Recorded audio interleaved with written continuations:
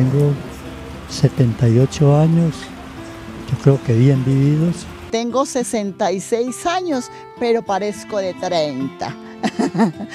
Tengo los ánimos muy altos todavía para trabajar. Me siento muy bien. Visito enfermos y les llevo la comunión. Estoy bastante activo y hago muchas obras sociales.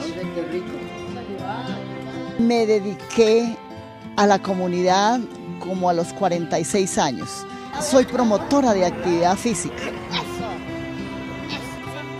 Yo desde muchacho, desde niño, desde el colegio, me gustaban mucho eh, los poemas. Teníamos también grupos musicales. Yo también fui uno de los fundadores del Teatro Experimental de Caldas, por ejemplo. Todo eso me ha, me ha permanecido en la mente.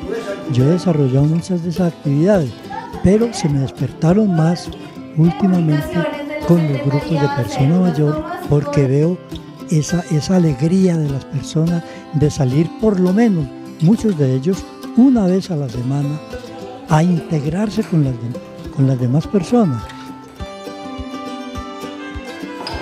Para envejecer felizmente uno tiene que ser socialmente activo.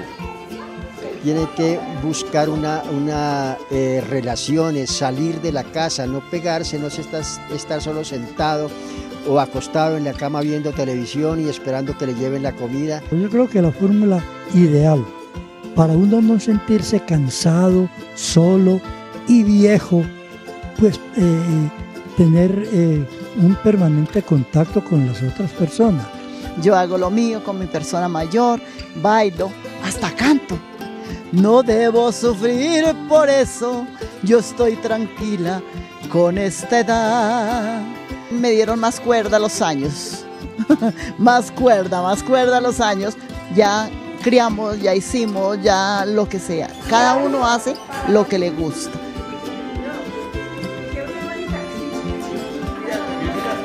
Porque nosotros queremos que nos escuchen.